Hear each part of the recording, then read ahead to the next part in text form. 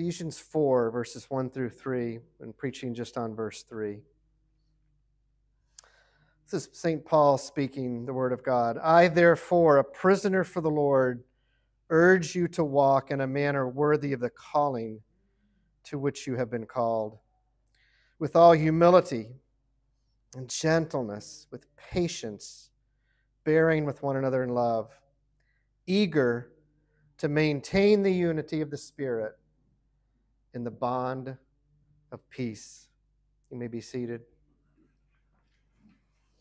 Our great God and Savior, work in our hearts that eagerness, that desire to maintain that unity of spirit, the bond of peace that you have bestowed upon those of us who are your children. And if any here do not know you as their child, may this be the day you reveal to them their need of the Savior, work in their hearts true repentance and faith, where they call upon you for salvation and know they are now your child forever. In the name of Christ, our Savior, who bought our salvation, in his name we pray. Amen. Well, I'm a child of the 60s, grew up 60s and 70s. If you remember that time, what was the universal symbol everybody gave?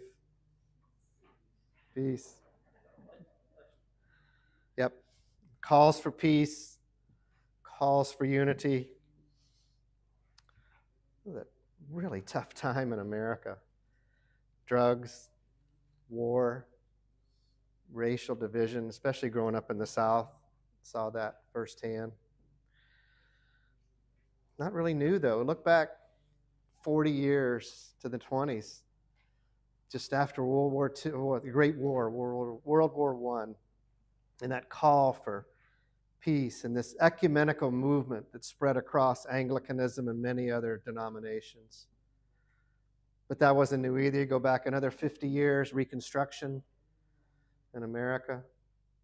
Boy, what a tough time. Much hatred. Go back a few years before that, people trying to avert, avert the Civil War.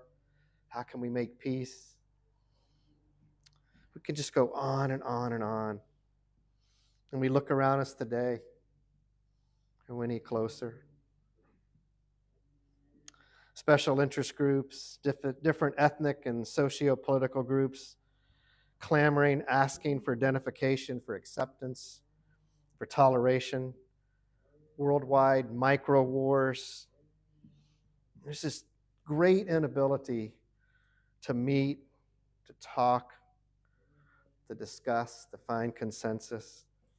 And we're no closer to peace today than we were 6,000 years ago when we were expelled from the garden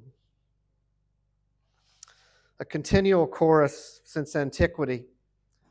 Jeremiah, the weeping prophet, the last prophet of major significance before the fall of Judah, talked about peace a lot. They have healed the wound of my people lightly, saying, Peace, peace, when there is no peace. We looked for peace, but no good came, for time of healing. But behold, terror their tongue is a deadly arrow, it speaks deceitfully. With his mouth, each speaks peace to his neighbor, but in his heart, he plans an ambush for him. Our passage today is a call from the apostle for peace and unity. But it's a call for a true peace and a unity that come only by the Spirit, only by the working of God. Paul continues to build up build upon the call he made in verse 1 to walk in a manner worthy of our calling. Remembering that it is God himself who is calling you and it is God himself who is equipping you, equipping us with his fruits. We saw last week those fruits of humility and gentleness and patience and forbearance and love. Now we are to be walking eager to maintain the unity of the Spirit in the bonds of peace. It's a short verse, only six major words, but oh, so important for our continual ability to walk in the Spirit, to walk worthy of the manner that we've been called. Two major commands here for two different gifts that we've been given. If you remember in chapters 1 and through 3, there were only two commands given, and they were both centered around a unity, talking about Jews and Gentiles now being one in the body and how they're to live together.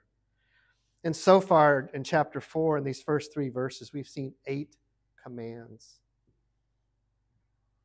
Eight commands. But let us not forget the groundwork that Paul laid in chapters 1 through 3. Who are you? How do you live? You are a person that has been created in Christ Jesus. You are to live your life in the power of Christ, not in your own power. We were once dead, now we're alive. We were once children of wrath, now we're children of God. We once walked according to the world that is in darkness. Now we walk in good works, that is the light of God. We were enemies of each other.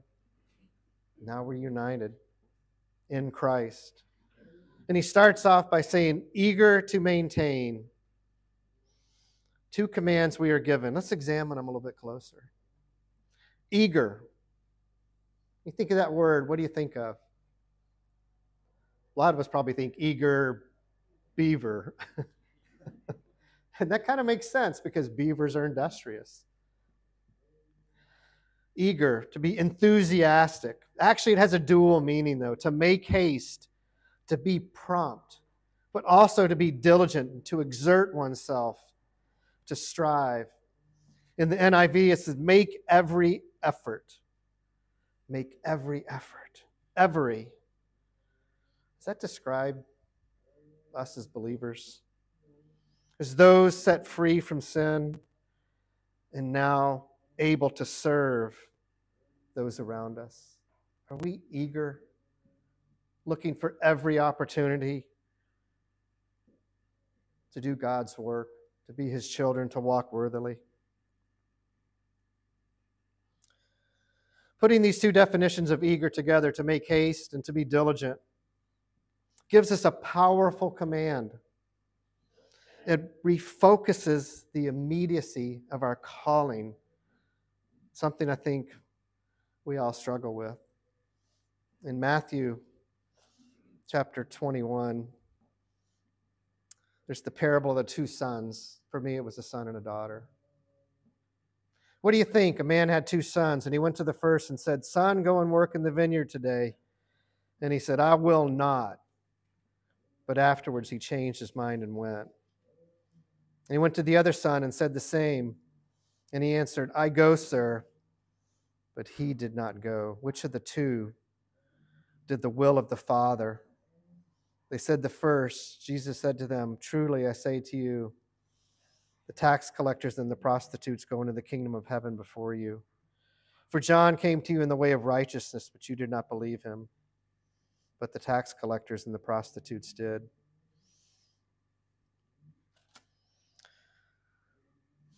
Son number two says yes but disobeys.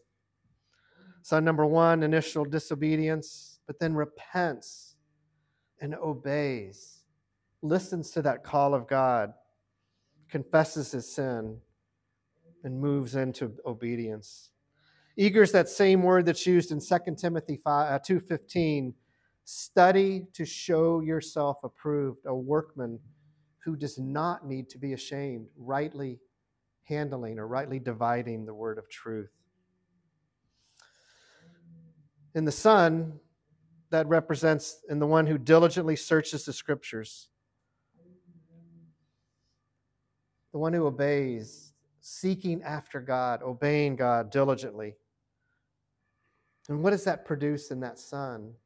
But true joy, true contentment, Jesus said, but he said, Blessed are the rather those who hear the word of God and keep it. And Jesus answered them in John 14 If anyone loves me, he will keep my word, and my Father will love him, and we will come to him and make our home with him. And then it says we're to be eager to maintain. This is the second verb given in this verse. And notice both of these verbs are active verbs. They're not passive, they're not optional, they're not for a certain class of believers, they're not just for the pastor or the elders or the deacons or the deaconesses, those who serve officially in the church, but for all believers. And it means to we, we are to attend carefully to our task, to our calling, to persevere, to keep our eyes on Christ. It's actually a military term. In antiquity, and even now, if you were given the responsibility of being a watchman or a prison guard, what happened if you were lax or negligent? Remember when Peter's in prison under Herod and miraculously the angel comes and releases him? What does Herod do to the prison guards? Has them executed on the spot. And God says to Ezekiel, Think of yourself as the watchman for the city. When you hear my word, proclaim it. And if you don't, you're like the watchman that is asleep or the watchman that sees the enemy coming and doesn't warn the people, and you will be held to account. Notice the pattern here.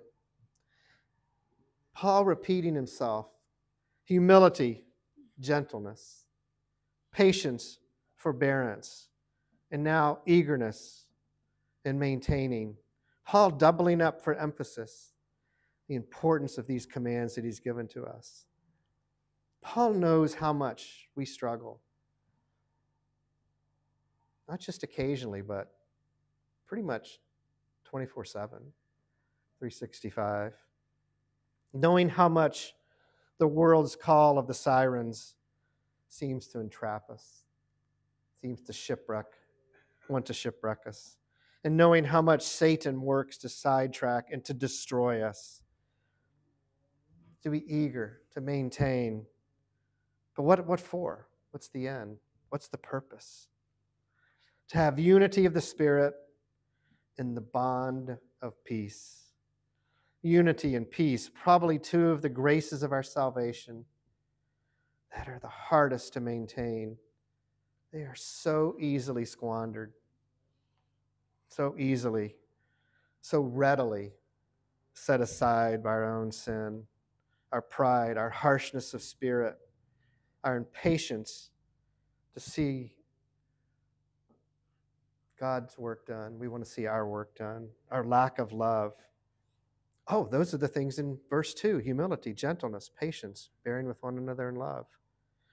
Instead, we substitute that pride, harshness, and patience. We are to have unity in the Spirit, biblical unity which is not just uniformity. There will be differences of ministry style, expression. Really learned to see this in the past two or three years. Um, being in the Reformed tradition for 20 years, we're very tightly wrapped. And we're very much, we want to see our doctrine perfect and we want to just sit in nice rows in churches and sing nice hymns. And then I got to meet a lot of people from other cultures African American, Asian, Hispanic. And you can't drop this that kind of worship style into a culture that's never heard the gospel before, that has no paradigm to understand that. I saw that in Africa when I was there 15, 10 years ago and saw the pastor leading the worship with a drum. And it was wonderful to hear the singing of those people and the worship. Would it fit in here? Maybe, maybe not. But trying to force that on, it's not going to be a uniformity. There will be differences in ministry style. That doesn't mean we cater to the world, we still bring the gospel. And biblical unity is not just limited to having a loving and tolerant attitude, although that is part of it. But biblical unity is an agreement on the core essentials of the faith the doctrine of God, who God is, the doctrine of salvation, who Christ is, what Christ has done. And it's putting aside that which would divide us. I could list dozens of things that would divide us. They may be very important doctrines, but are they worth breaking fellowship over? Well, I can't go to your church because you believe that. Remembering that Christ has united us who were once enemies. We were enemies of God and we were enemies of each other. Jews, Gentiles. 250 years ago, Tories, patriots. 175 years ago and on, black and white. Currently, left wing, right wing. It may mean calling those back to the faith who have erred, but that has to be done lovingly, humbly, gently, patiently. If you go to somebody that's in error and just start blasting them with how they're wrong, I think that's going to go over? Not well. Not just tolerating, but truly loving. Not just tolerating, but truly loving, having joy in each other's presence. That's one thing I just love about this church. And I don't, I'm not trying to pat you on the back. But there is a true joy and a love for each other here. Never let that go. Christ has great joy in making you his child. Should we not have that same joy in uniting with our brothers and sisters? We are not to create this unity. This unity is a result of the finished work done by Christ to defeat death. And it's applied by the Holy Spirit to his believers. It's applied into our hearts. How does this unity come about? It's through the bond of peace. This bond, this binding, which is done only in the power of the Spirit, it's done with such power that it takes that which was once disparate or pulls apart and unites it as one. And it happened in Ephesus with Jews and Gentiles. It's happening in the churches with blacks and whites, with rich, poor, with left wing Christians, right wing Christians. It's Christ doing it. and this same bond, this same power, it's the power that raised Christ from the dead. Same power that Christ, that God the Father used to raise his Son. Joining them into one body, producing true spirit driven, spirit initiated, spirit governed, spirit fed, spirit maintained peace. And if you remember from a few months ago, we peace was defined in the scriptures as that tranquil state of a soul assured of its salvation through Christ, and so fearing nothing from God and content with its earthly lot of whatsoever sort that is the tranquil state of the soul assured of its salvation, fearing nothing from God, no recriminations from past sins, no recrimination for the sins you commit now with repentance, content with your earthly lot of whatsoever sort that is. A peace like that unity, we do not produce that on our own. This is a peace that's, again, like the unity, result of the finished work of Christ. The defeat death applied to us by his Holy Spirit in our hearts. We've covered a lot of theology in the past four weeks. We looked at a passage from Exodus to bridge between chapters 1 through 3 and 4 through 6, where we learned about God has made us priest to minister to minister to each other, to minister to the world around us, to glorify God as his priest. And we learned three weeks ago about being called to walk and to do so in a worthy manner. And then we've learned about the fruits that God has given us in this walk to sustain us this humility, this gentleness, this patience, this forbearance, this love to help us walk in a worthy manner and we're to do it eagerly and diligently, with all diligence, making every effort. And yet, We look around, we don't always see what God has sown, do we? That is that true godly unity and biblical peace in our hearts, or in our families, or in our churches. We recall the lamentations of Jeremiah peace, peace, but there is no peace. Do we give up? We settle for less? We lose hope? We think this is an ideal that's unobtainable, only there for the super saints, maybe the pastors or the elders. Far from it. Your pastor does not produce true peace and unity in his heart. It has to come from the Spirit. Again, we must return to God. Again, we must return to the gospel. For all the promises of God find their yes in Him, Paul says to the Corinthian church.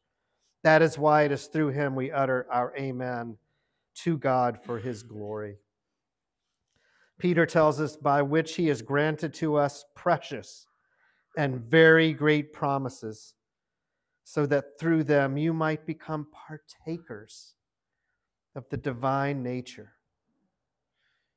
partakers of the divine nature. You don't become God, but God gives you some sense of that peace, that unity, that love, that humility, that patience, that gentleness.